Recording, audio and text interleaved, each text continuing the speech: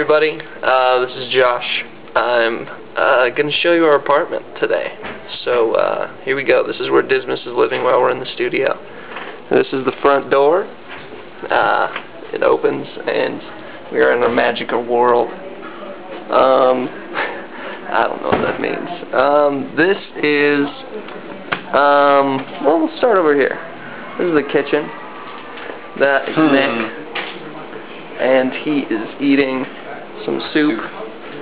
There's some sink, some refrigerator action, and oh look, washer and dryer, which is awesome. Get to wash our clothes. There's Nick again.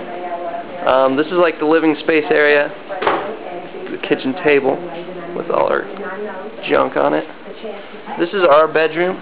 Uh, Nick, Zach. Well, actually, Nick sleeps there. Zach I mean, no, that's me. And that's Zach. This is our bathroom. Let's turn on the light here. Oh, that's beautiful. Um, there you go. Um, that's awesome. There's our closet, which we haven't quite settled into yet, so I'm not going to show too much of that. Um, there's Nick again. And, um, let's see. Let's go to the magic. Um, there's Tupac.